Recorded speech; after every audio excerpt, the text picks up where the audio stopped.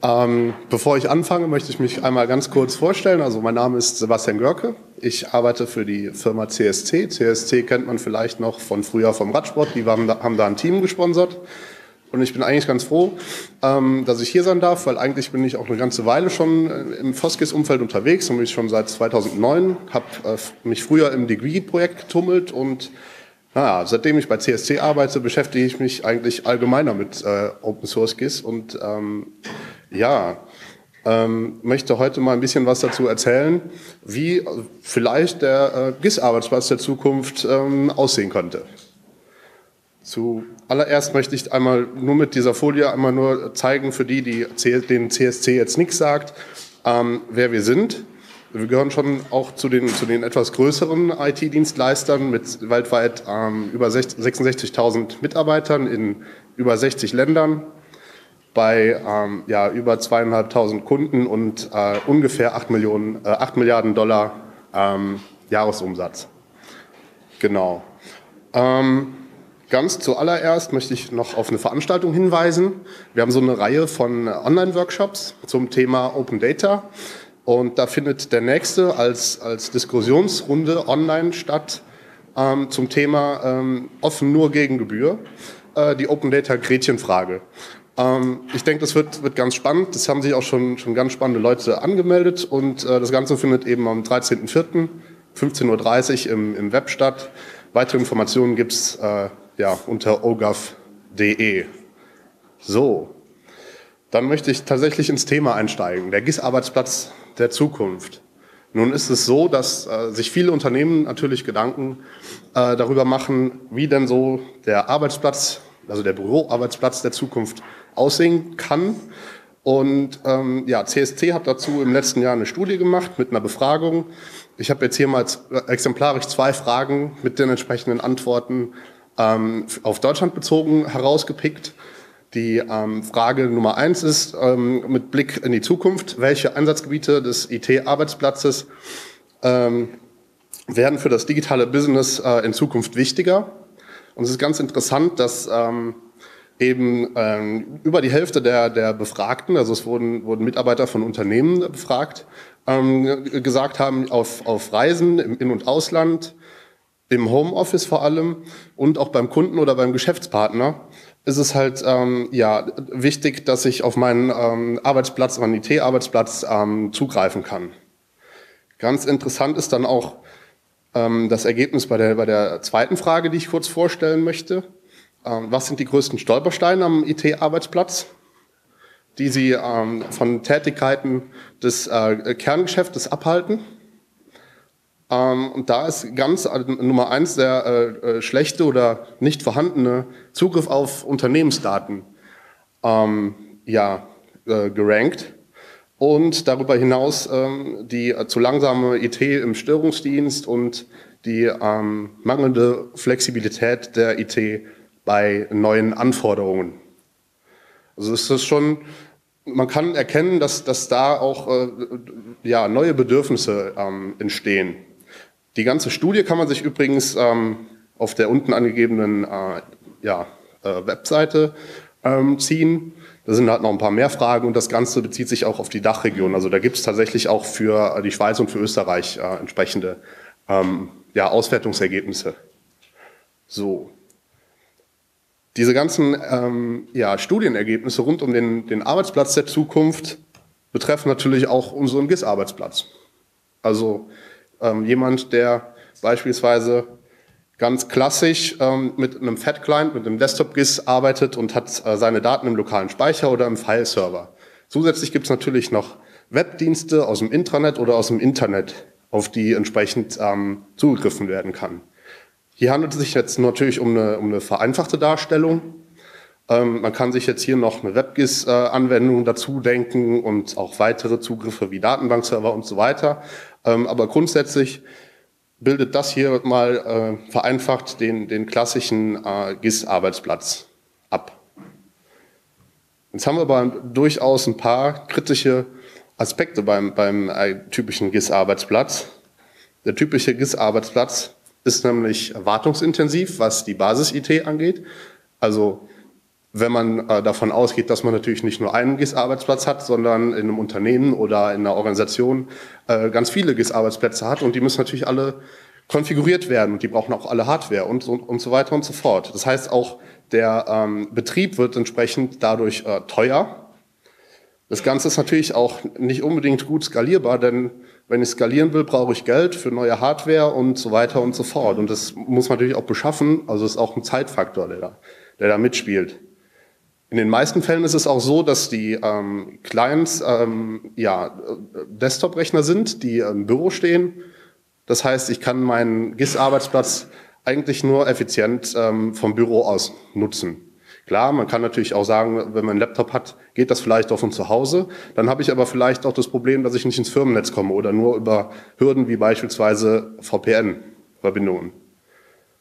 Ähm, was ich auch gelernt habe, ähm, ist, dass, dass ein GIS-Arbeitsplatz definitiv auch eine ganz komplexe Sache ist. Also im Vergleich zu anderen Verwaltungsanwendungen ist ein GIS-Arbeitsplatz, ähm, also beispielsweise Verwaltungsanwendungen, ist ein GIS-Arbeitsplatz echt äh, recht komplex, weil eben verschiedene Datenquellen da eingebunden werden müssen. Es gibt auch verschiedene äh, Tools, also man hat ja nicht nur ein Desktop-GIS, sondern man hat natürlich auch ähm, weitere Anwendungen rundherum. Und äh, die machen eben äh, den, den typischen GIS-Arbeitsplatz ähm, wenn man so auf die Ergebnisse von, von dieser Umfrage schaut, ja, für die Zukunft eigentlich weniger attraktiv. Das heißt, man braucht Lösungen, ähm, wie, man, wie man eben äh, solche ähm, Arbeitsplätze in Zukunft gestalten kann. Jetzt kann man natürlich direkt auf die Idee kommen, okay, ähm, da gibt es ja das WebGIS. Ich sage jetzt äh, bewusst WebGIS und meine damit nicht ähm, Geodatenportale, ähm, weil die braucht man mit Sicherheit auch, also diese klassischen Gucken- und äh, Drucken-Anwendungen, sondern ich meine tatsächlich ein WebGIS, wo ich hochkomplex eigentlich das abbilde, was im, im Desktop-GIS passiert.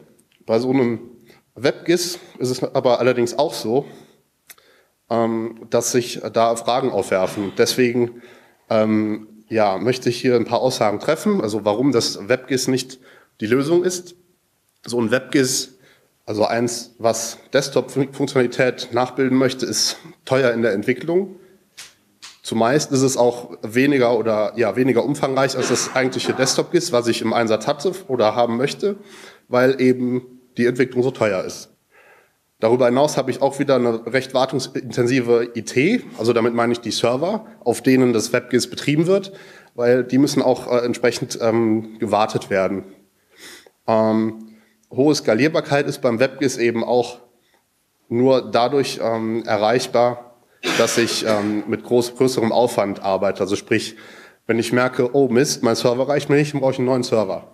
Oder ähm, ich muss ein Cluster aufbauen, also muss ich eine komplette ähm, Clusterinfrastruktur mir, mir ausdenken und selber aufbauen. Und das führt dann wieder dazu, dass die Wartung intensiver wird.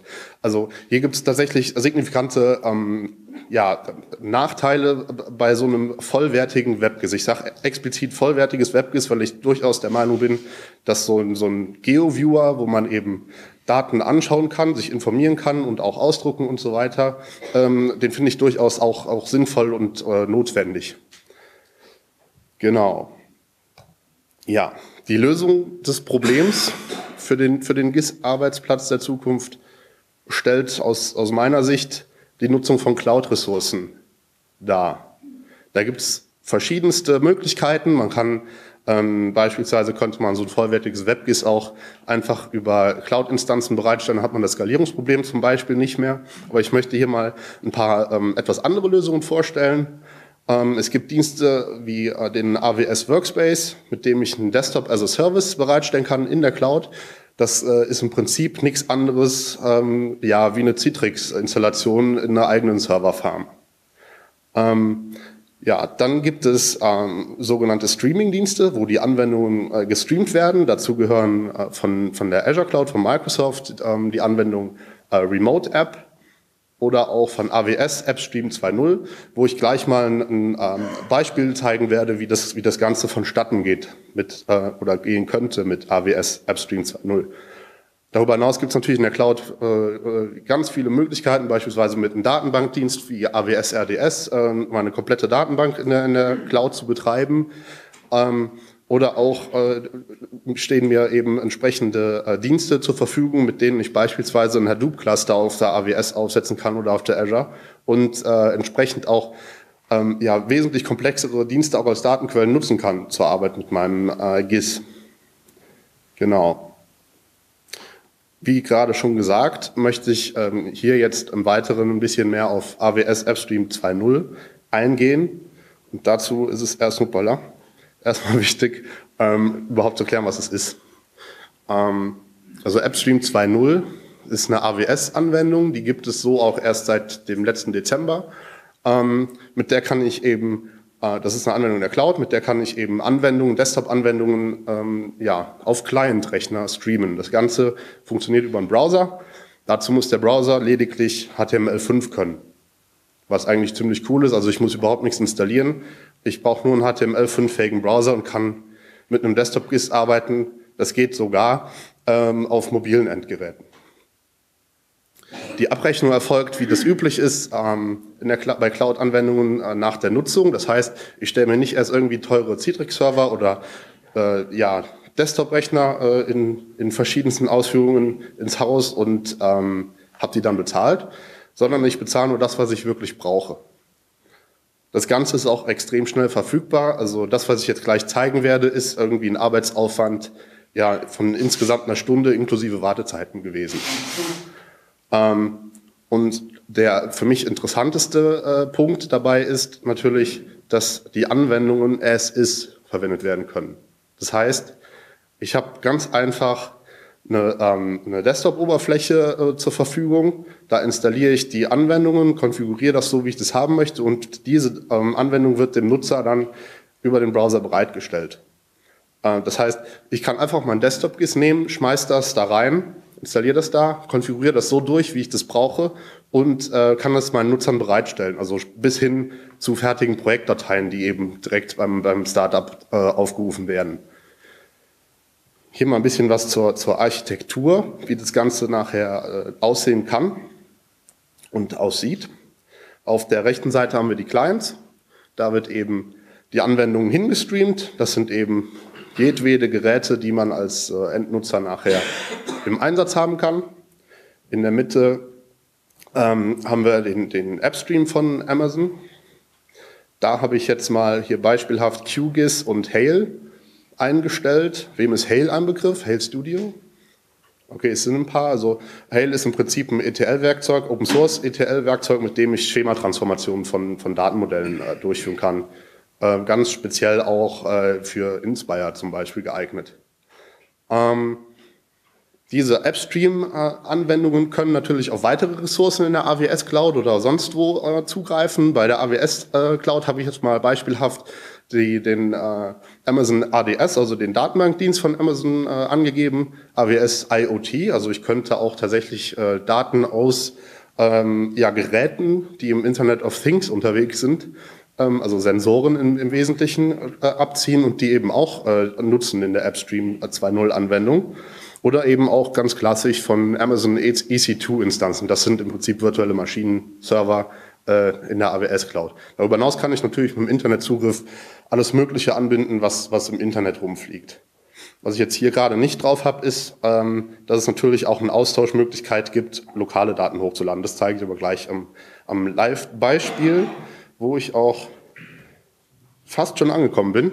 Möchte ich noch eine Folie hier verwenden, wie das Ganze noch einfacher wird, indem man nämlich Continuous Delivery Tools einsetzt. Also das ist eben, sind Tools aus dem DevOps-Umfeld. Wem ist DevOps grundsätzlich ein Begriff? Hier sind auch ein paar. Das ist eben die Verknüpfung von Development und Operations. Also sprich, ähm, es gibt eigentlich einen, einen kontinuierlichen Fluss von Software ähm, in den Betrieb. Also bei Google Analytics zum Beispiel, das werden die meisten auch kennen, ähm, ist, es, ist es so, da laufen am Tag 200 äh, Deployments am Tag. Das merkt, glaube ich, niemand der Nutzer. Ähm, fünf Minuten noch, okay. Genau. Ähm, ja, mit, mit Tools wie Ansible und Co., also Ansible ist so ein IT-Automatisierungstool, ähm, ist es mir möglich, dass ich das, was ich gerade in der, in der Architektur aufgezeigt habe, noch, noch weiter automatisieren, wie das sowieso schon in der Cloud der Fall ist. Das heißt, ich habe über ein automatisiertes Deployment die Möglichkeit, ähm, Software so bereitzustellen, dass ähm, es keine weiteren manuellen Eingriffe mehr äh, notwendig sind. Es gibt eine geringere Fehleranfälligkeit in der Konfiguration und über die automatisierte Provisionierung ähm, ist das System immer aktuell und die Betriebskosten oder die Aufwände, mein System ähm, auf dem Stand zu halten, werden minimiert. Jetzt hier einmal ein bisschen Beispiel. Das ist jetzt in der Browser-Anwendung. So sieht das aus, wenn ich das als Nutzer aufrufe. Das ist ein QGIS vorkonfiguriert. Das startet genau so, wie, wie ihr das jetzt seht. Ähm, hier oben gibt es so eine Leiste mit verschiedenen Steuerungselementen. Da habe ich zum Beispiel so einen Session-Folder, wo ich eben lokale Daten da hochladen kann, kann die bearbeiten, schläge die wieder in den Session-Folder ab und lade die mir runter. Relativ einfach. Ich muss also keine Installation bei mir lokal vornehmen von einem GIS. Ähm, ich kann die Anwendung relativ einfach wechseln. Also auf der linken Seite habt ihr äh, die Helloberfläche, rechts das QGIS. Das geht auch über die Buttons oben und ich kann natürlich auch das ganze Spiel im Vollbild äh, praktizieren. So. Jetzt hier mal eine Gegenüberstellung von den verschiedenen äh, Bereitstellungstypen. Bei den Kosten haben wir eben beim Standard, bei der Standard-GIS-Bereitstellung hohe Betriebskosten. Beim WebGIS sind es eben Entwicklungskosten, die recht hoch sind. Beim ähm, AppStream 2.0 habe ich die gleichen Kosten natürlich wie beim Standard GIS hinsichtlich der Entwicklung, aber im Betrieb ist es wesentlich günstiger. Bei der Skalierbarkeit geht es beim Standard GIS äh, eben nur über Hardwarekauf, das ist beim WebGIS genauso. Zusätzlich noch die Clustering-Geschichte. Bei AppStream 2.0 geht es per Mausklick. Zur Nutzbarkeit. Standard GIS-Bereitstellung ist meistens nur im Firmennetz oder am Büroarbeitsplatz äh, möglich. WebGIS und, und AppStream 2.0 äh, Anwendungen äh, kann man eben von beliebigen Geräten nutzen, wenn man es entsprechend konfiguriert. bei der Wartbarkeit ist es so, da habe ich beim Standard GIS einzelne Arbeitsplatzrechner, beziehungsweise die Citrix-Server. Beim WebGIS habe ich einzelne Server und im Imagebuilder habe ich Konfiguration einfach über die VM. So, jetzt habe ich schon fast meine letzte Folie.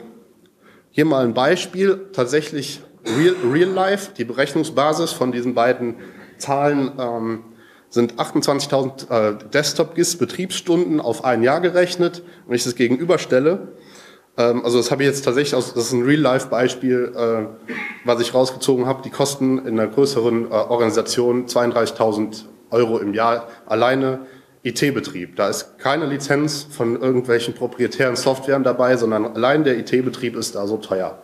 Und wenn ich das Gleiche mit AppStream 2.0 mache, lande ich irgendwie bei, bei 6.300 ungefähr. Und ich denke, das ist auf jeden Fall ein Grund, warum man sich zusätzlich zu den genannten Argumenten definitiv mal mit solchen Modellen auseinandersetzen sollte. Und dann bin ich auch schon durch mit meinem Fazit. Der GIS-Arbeitsplatz der Zukunft setzt definitiv auf die Cloud. Vielen Dank für die Aufmerksamkeit. Jetzt stehe ich für Fragen bereit.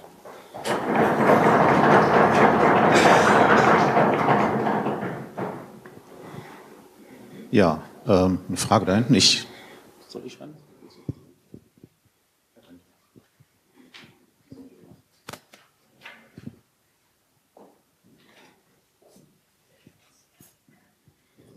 Ich finde die These gut, dass der GIS-Arbeitsplatz zukünftig auf die Cloud setzen könnte, aber die Realisierbarkeit, da fehlt mir im Moment die Fantasie. Es ist ja so, ähm, sowohl in Unternehmen als auch in Behörden wird ja mit sensiblen Daten gearbeitet. Datenschutz, verschiedene Verfahrensstände, die einfach gar nicht an die Öffentlichkeit kommen dürfen. Ne? Wenn ich jetzt diese Daten in die Cloud lege, dann, dann sind sie ja zwar nie an der Öffentlich in der Öffentlichkeit, aber zum Beispiel bei einem riesengroßen Konzern wie, wie Amazon, kann ich mir im Moment nie vorstellen. Wie, wie, wie ist da der Standpunkt dazu? Ja, also mit so, so einem Argument habe ich natürlich gerechnet. ähm, Gibt es ein cooles Beispiel von, von Siemens, die ähm, mit ganz vielen Ingenieuren äh, mit AppStream 2.0 ähm, ja, mit CAD-Systemen arbeiten, was eben Produktentwicklung ist. Und die machen das über AppStream 2.0. Also die setzen tatsächlich darauf, ähm, dass eben an der Stelle Amazon die nötige äh, Sicherheit gewährleistet, dass eben die Daten dann nicht angefasst werden und so weiter und so fort. Das ist jetzt mal ein Beispiel ne, von, von einem großen Konzern, der das eben so sieht. Sind Beispiele aus der Verwaltung, aus, äh, also aus der öffentlichen Verwaltung da auch bekannt? Mhm. Ähm, bis jetzt nicht. Also ich habe ja eben auch schon gesagt, AppStream 2.0 gibt es auch erst seit Dezember. Das heißt, es ist alles prototypisch und äh, so weiter. Ähm, allerdings ist es natürlich auch so, dass wir in Deutschland beispielsweise mit dem ähm, ja, kommenden Open Data Gesetz auf der Bundesebene so ziemlich alle Geodaten ähm, zu, eh sowieso zu veröffentlichen haben. Also sehe ich da jetzt nicht so das große Problem in dem Bereich. Natürlich gibt es sensible Daten. Ne? Das, das trifft nicht auf jeden Arbeitsplatz zu oder auf jeden Datensatz. Aber ich bin mir sicher, dass es einige Datensätze gibt, die eben sowieso als Open Data bereitgestellt werden, ähm, wo man eben auch die Bearbeitung so durchführen könnte.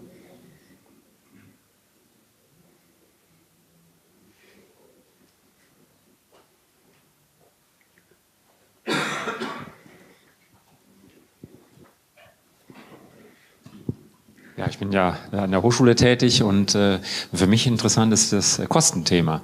Ähm, wir haben ja den Vorzug an der Hochschule in der Ausbildung, dass wir viele Software sehr günstig und viele eben auch kostenlos kriegen, abgesehen natürlich sowieso von dem Open Source Bereich. Äh, Gibt es da irgendwelche Ansätze? Weil wenn ich das äh, Studierenden beibringen möchte, äh, dann äh, ist das natürlich ein Kostenthema. Mhm.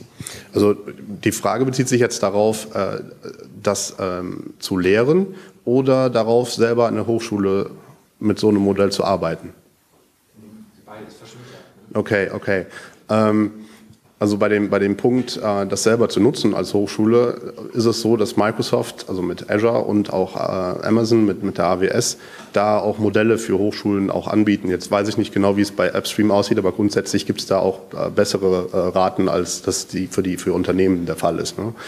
Ähm, und bei den Kosten habe ich ja eben mal kurz aufgezeigt, da wird tatsächlich nur nach Benutzung abgerechnet. Das heißt, wenn ich so ein Ding für, für einen Tag mal laufen habe, dann habe ich, weiß ich nicht, vielleicht 10 Euro oder sowas an der Backe und das war's.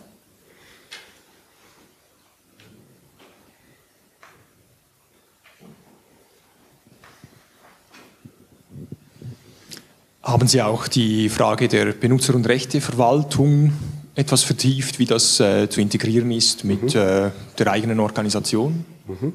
Also da gibt es tatsächlich auch schon ähm, ja, Best Practices von, von AWS selber im Netz zu finden ähm, zum Thema beispielsweise LDAP-Anbindung und ähm, Sammel 2.0-Anbindungen, Single Sign-On und so weiter. Also äh, die haben sich damit schon beschäftigt. Ich selber habe da noch jetzt noch nicht mit äh, gewerkelt, aber das steht mit Sicherheit im Ausbau äh, von diesem Showcase hier auf jeden Fall noch an.